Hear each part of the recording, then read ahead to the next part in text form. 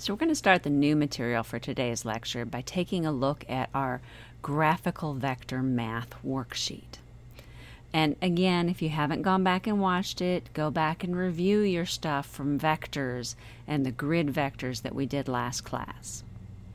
Now this is the worksheet that I handed out in class on Thursday. And again, if you've lost it or if you weren't there in class on Thursday, you'll need to print it out from Blackboard for the folder for today.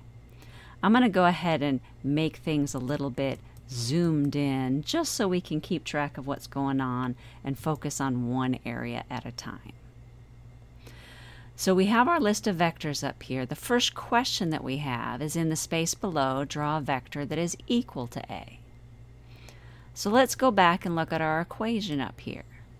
Our equation says 3i hat, which means it has to be 3 to the right, and 2 j hat means it's 2 upwards because it's plus 2 j hat. So I'm just going to take this little description here and drag it down.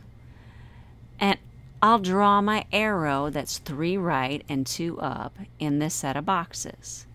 Now I'm using a graphic program, so I actually have a little arrow function on here. Of course, you're going to be doing this on your paper. It doesn't matter exactly where you start, but since we're going to the right and up, you probably want to start somewhere down in here. So I'm just going to pick a point and go one, two, three to the right, and then drag it two up. And I'm just going to make this a little bit bolder so it's easier for you guys to see. So I went one, two, three boxes over to the right and two boxes up. So that's equal to A.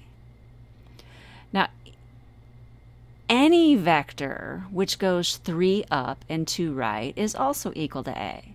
So I could have started on this box and put an arrow in and gone 1, 2, 3 to the right, 2 up. And that one is also equal to A. So any vector which has those same components is equal to A.